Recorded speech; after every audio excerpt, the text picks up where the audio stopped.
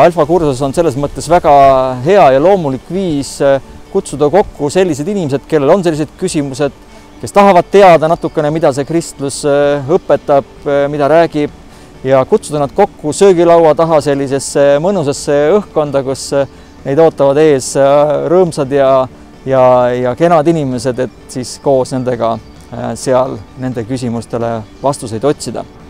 nii et kutsun teid julgelt proovima